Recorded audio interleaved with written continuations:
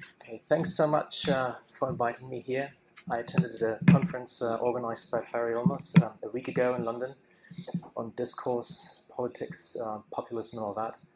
Um, I thought, oh, that's that's really cool. Um, I've already prepared a presentation for this event, and um, and so I went and um, and saw the nice people, and um, and then I realized, oh, it's it's the same people. So um, well, I tried to do something slightly different, the same theoretical argument with um, different material, and I hope you forgive me if, if I don't um, do exactly uh, the same thing. Um, oh. I should say I have a background in science and technology studies. Um, as you may know, science and technology studies um, tries to uncover the social construction in scientific knowledge. Um, and to cut a very long story very short, um, there has been a movement in, in this field from kind of showing the social mechanisms and practices um, in, in the construction of wrong knowledge. That is, for example, there's the idea the earth is flat, and then there are all kinds of institutions, power relationships, and all that that we can show to, to understand why such an idea can, can get a hold in society. And over time, um, that idea has been extended to knowledge which has been um, recognized as true as well. I mean, like um, law of gravity and things like that, um, or that there are planets um, circling around each other. And, um, and so the whole idea that there's not only the social construction of false knowledges, but also of true knowledges, is the very um, idea of the so-called strong program in science and technology studies, which has been around for quite a long time now. Um, it's from the 70s, from David Bloor, the so-called Edinburgh School. And uh, basically, the idea is that um, in order to account for the social making of knowledges, um, it is it is important to, to apply the principle of symmetry. That is, if we have an account, a social account, for example, of um, knowledges, it should apply to the false and the true knowledges um, in the same way. And, and that's an idea I think that is quite helpful for some of the problems we have in discourse studies. Um, I mean, it's a classic to deconstruct the lies of Trump, for example, and to show the power mechanisms and the distribution of resources and all that um, that helps these fake news um, spread around the world. Um, if if we uncover these these social mechanisms, of course, uh, we don't only unmake certain truth claims um, in Trump, but we also contribute to making some truth claims of our own. So there's also there's always this kind of tension between various truth claims and our own truth claims, which are, I mean, of course, true for us. Um, they're also socially made. That's the kind of gist of the strong program. If we look at um, at knowledges and how they're made and unmade in discourse, we, we not only look to, to the wrong knowledge, but also to, to the true knowledge, that is our own knowledge. And if we uncover that, um, that, that both are socially made, this doesn't make our claims weaker, but on the contrary, it's very important um, it, it, it, makes it more consistent and thus stronger. And that's why it's a strong program. Um, in the following, I will apply this insight to, well, some of the questions that, um, that we deal with here, um, namely to populist discourse and academic discourse. I'll try to match both and show that, um, well, there are certain things that we can learn from both. let me um, look into some social media analysis of um, populist discourse. Um, I'll show you some slides about the concentration of, um, well, visibility um, in, in tweeting practices. And uh, here you'll find a representation of the 500 most important media outlets as they're retweeted um, in in social media. And you can see in this analysis, of course, that um, there are some media outlets which are hugely dominant. Um,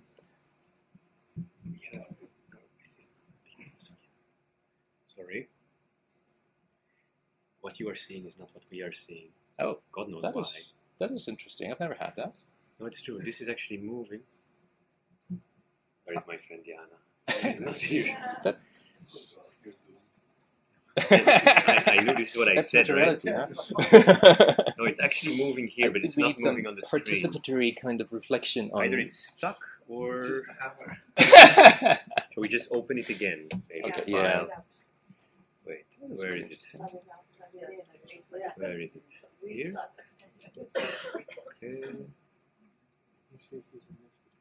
Okay. Now we have nothing. We need to open the presentation, I suppose. This is it.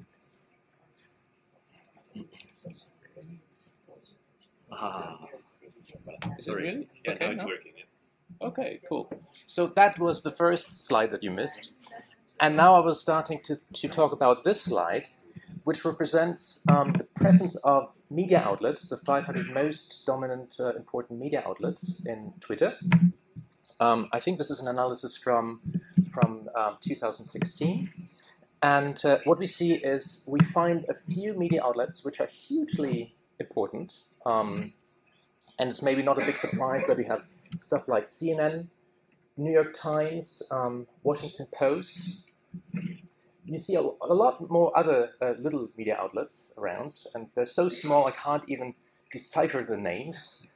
Um, there's also uh, one media outlet which is very interesting. I think it's Breitbart um, here on the right, and basically on the right, um, most of the Twitter activity on the right has been around Breitbart. And this shows um, a few things which are quite uh, remarkable. One thing is, um, well, um, there's no real big media outlet for the conservative right anymore. Um, but um, the whole right space is basically monopolized by Breitbart and Twitter, which is quite um, interesting. Um, the other thing is um, the so-called liberal cent- centrist media outlets have become quite important, in fact, over the last two to three years. Um, the so called failing New York Times, in fact, has doubled the number of subscribers. Um, and of course, the last thing, and that's really the important thing here, um, we see a very strong concentration of media visibility in, in very few media outlets. If we go to the next slide, um, here is an analysis of um, interaction activity for US politicians. And what you can see here, of course, is that uh, one politician has really monopolized attention over the last uh, few months, and this is Donald Trump. And um, and then if you go go um, down the list, there are also some very interesting remarks to be made. Uh, one thing, of course, is that the next most important um, personality is uh, Ocasio um, Cortez, um, which is also, of course, I mean, seen as a kind of new generation of populist leaders in, in some way.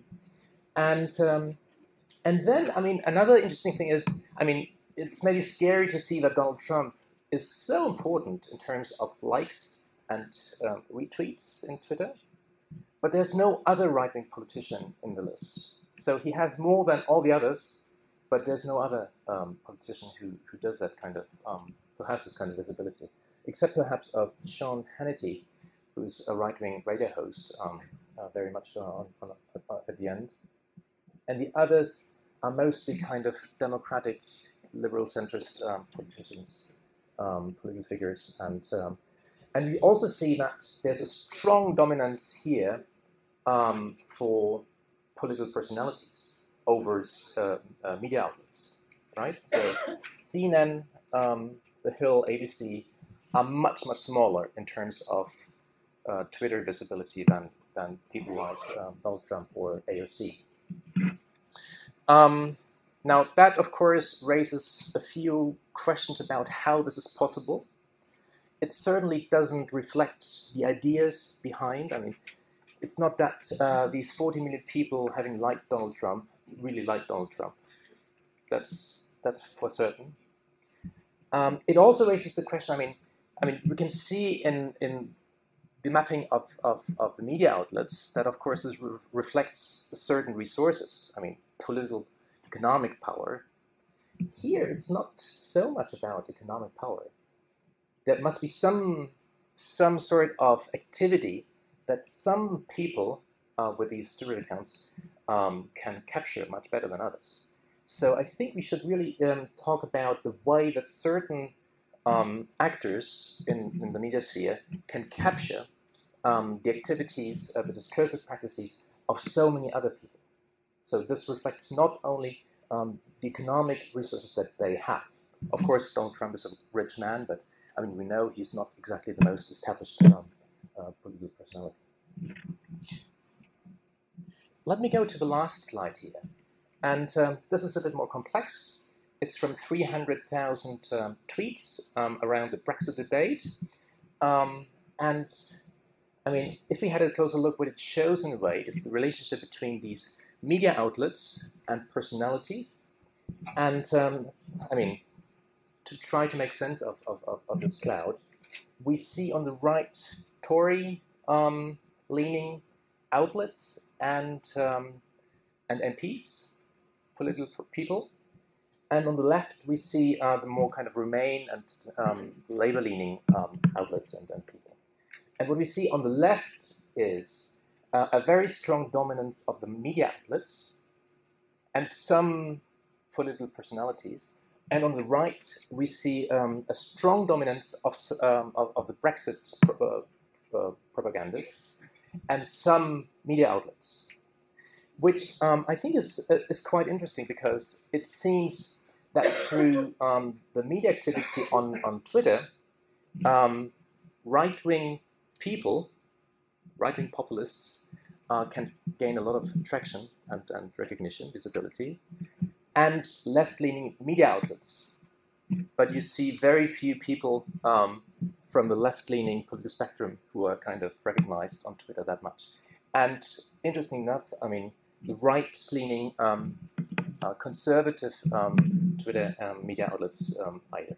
So probably this is one of the reasons why, I mean, so many political figures have seen some sort of traction towards uh, Brexit. It really kind of helps them establish their subject position. And it's very difficult for people who do not represent the Brexit side to um, be present as political personalities. Okay, so this is um, one uh, kind of short and dirty um, analysis of uh, populism in, in, in, in, the media age. And what I now want to do is I want to turn to um, applied linguistics.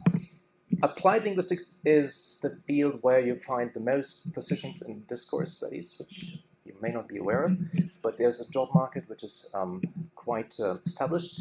It's been around for 30, 40 years, and um, and if, if you want to um, apply for professorships of discourse, you better go to applied linguistics.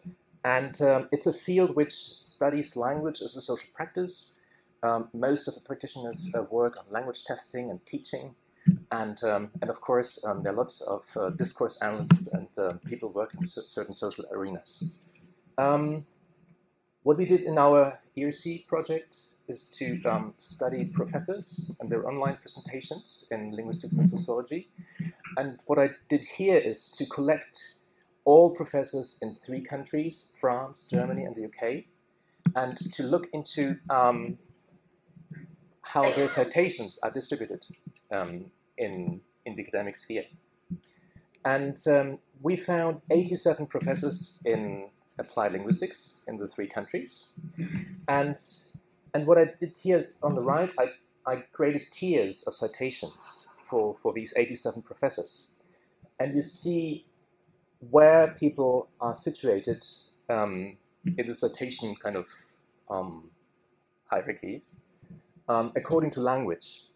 Because, of course, I mean, in Germany and France, the vast majority of people um, um, publish in German and French, uh, even though in, in, Germany you have quite a few people doing that in, in English as well.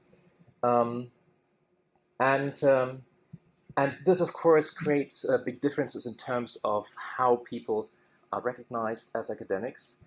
And what we can see is there are few people, about 13, um, 13 professors who are cited perhaps less than 100 times, according to Google Scholar, which of course raises a lot of questions. And, we don't have the time here to, to go into the limits of, of the methodology.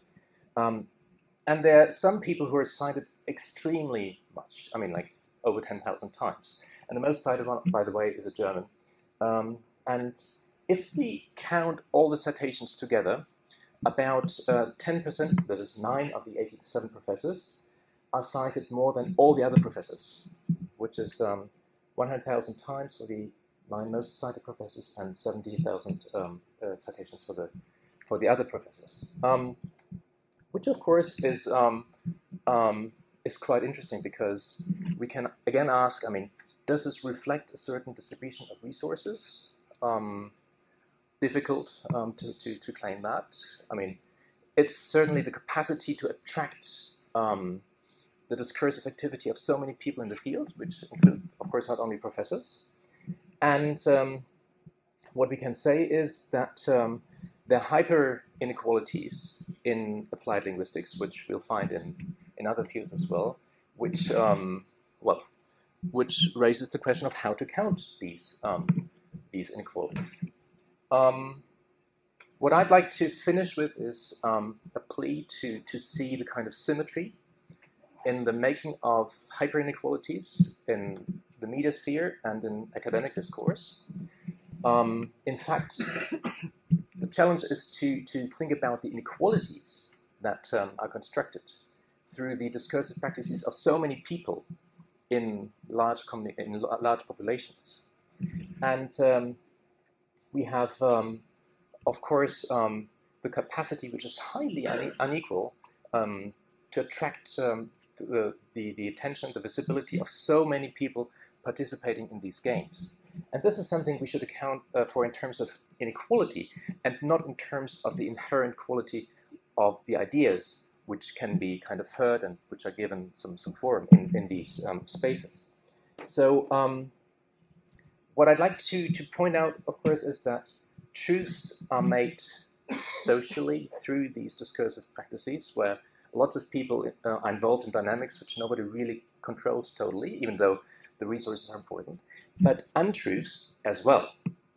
And now I want to finish with one tricky thing, um, because of course, if we want to intervene as scientists, discourse analysts in in these discourses, which are of great importance uh, for us as citizens um, about populism and all that, of course, we can do so only by occupying a certain subject position, which is socially ma made. So um, it really makes a difference um, if you come from a subject position which, which is important. But you can't uh, participate in the game without reproducing the very same structures that we are better um, to reflect uh, critically and perhaps also to undo if we can. And that's how I want to um, close my presentation. Thank you very much.